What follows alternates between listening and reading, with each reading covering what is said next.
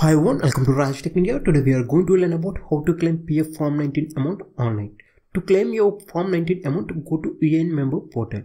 I will provide the website link in below video description or you can just type UAN member portal in Google and open the first link. Once the UAN member portal opens, now enter your UAN number and password and enter the CAPTCHA appearing on the screen. After entering the CAPTCHA, click on sign in. Now the home page will appear like this. Under online services, we can find options to claim Form 19 and 10C. But before that, we have to check whether our KYC details are linked with our UAN number or not.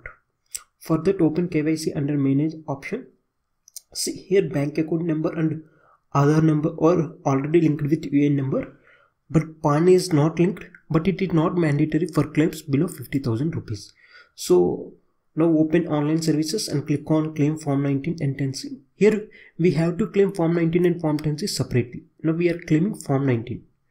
So once check all those details and enter the last four digits of your bank account number and click on verify.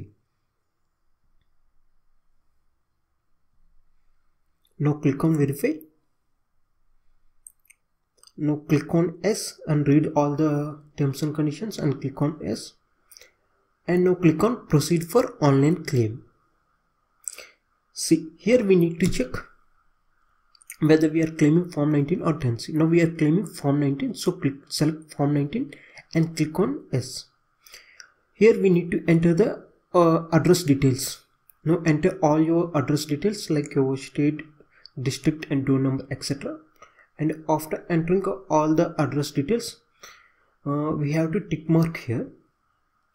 And now click on get Aadhaar OTP now the one-time password will be sent to your registered mobile number now enter the one-time password and click on validate OTP and proceed for claim. That's all.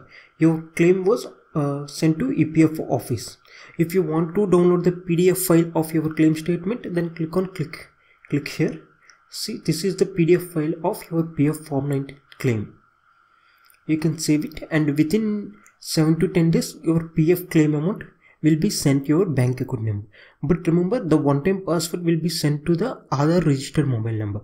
That means the mobile number which was linked to your Aadhaar number. Thank you. If you like this video, please share and subscribe to Raj Tech India.